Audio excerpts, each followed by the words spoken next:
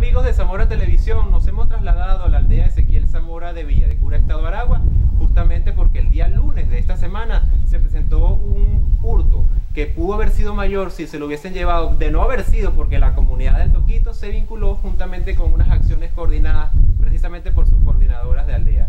Justamente aquí a mi lado se encuentra la coordinadora Aixa Álvarez, quien nos va a estar ampliando esta información y algunas de sus compañeras operarias para que nos digan exactamente, eh, exactamente cómo lograron evitar que el cableado de electricidad fuese robado nuevamente. Bien, en la noche del lunes, una vecina del frente de la aldea me hizo una llamada telefónica que había visto alumbrada la aldea y en pocos minutos la volvió a ver y había oscuridad. Inmediatamente pensé que estaba eh, alguien metido aquí en la aldea. Llamé a la sala situacional para que diera parte a la a los funcionarios, tanto estatales como municipales, pero simultáneamente hicimos llamado a otras personas de la comunidad para que ellos salieran con los pitos porque ellos están preparados para esto y inmediatamente salió gran parte de la comunidad de acá del Toquito y de al hacer bulla eh, eso creo que contribuyó a que estas personas que estaban dentro del, recinto salieran. De inmediato llegaron los funcionarios, cinco funcionarios motorizados, entraron a la aldea, luego se dieron cuenta, presumen ellos, que habían cortado cables porque no había electricidad. Inmediatamente ellos mm, salieron porque oyeron bulla en otro lugar.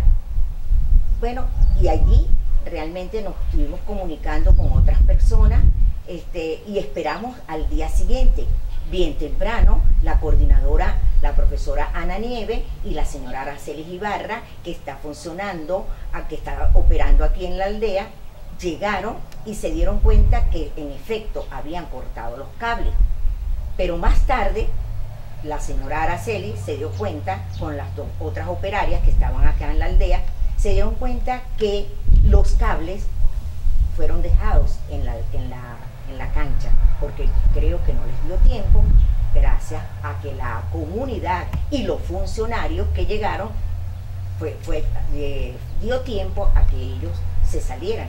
Y no fuese más grave la situación de haberse llegado los cables, porque si sucede así, quedamos sin energía eléctrica como ya había sucedido en el año 2015. Sí, que se tardó bastante en poder solucionar ese problema y sin embargo se logró resolver gracias a la misma Fundación Misión Sucre a nivel de Caracas, que se hizo la vinculación y ellos pudieron eh, venir para acá a resolver.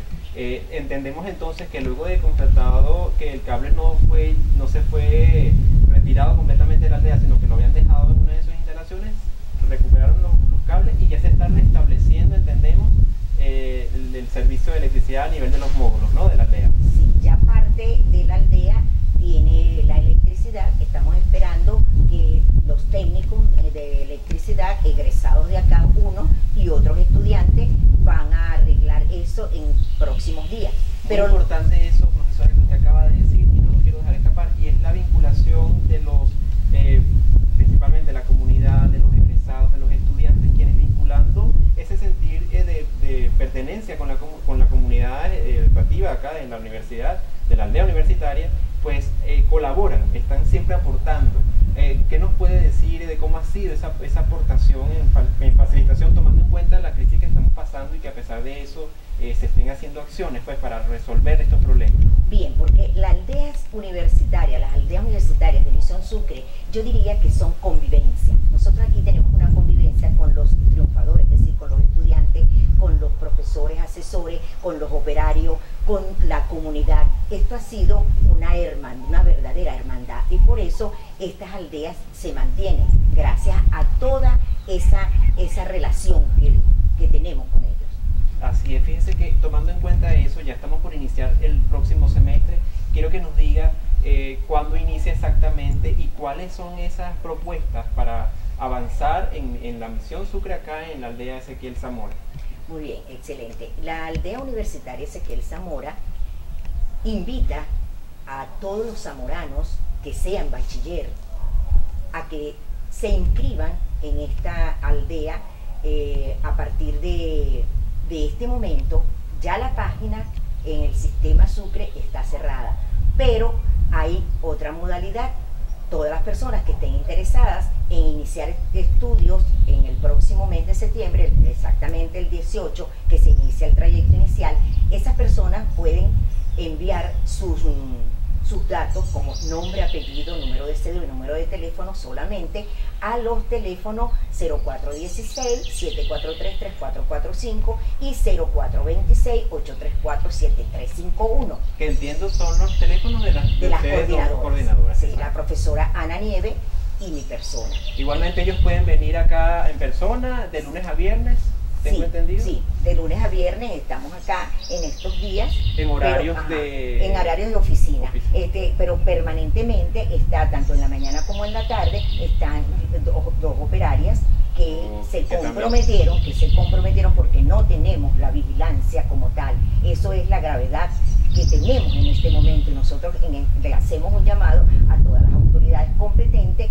que se den cuenta que esta es la única universidad en el municipio Zamora le hacemos un llamado a la alcaldía, a la Cámara Municipal, a los funcionarios tanto de, la Guardia Nacional como funcionarios de la, de la Policía Estatal y Policía Municipal.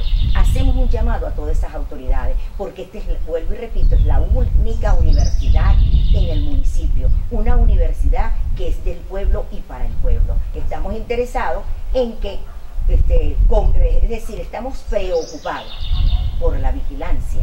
Necesitamos vigilancia en estas aldeas, porque gracias a Dios Todopoderoso y al presidente Chávez que nos dejó este legado, dejó estas casas de estudio. Estas son instalaciones que no tienen que envidiarle a cualquier otra universidad tradicional. Y en ese sentido, la Asamblea Nacional Constituyente que ya está sesionando, eh, seguramente estará trabajando también para que la, educación universitaria avance y por supuesto Misión Sucre, que es uno de sus eh, baluartes en esta revolución Agradecemos sus palabras eh, y sus declaraciones, profesora Isa, y también a sus compañeras operarias.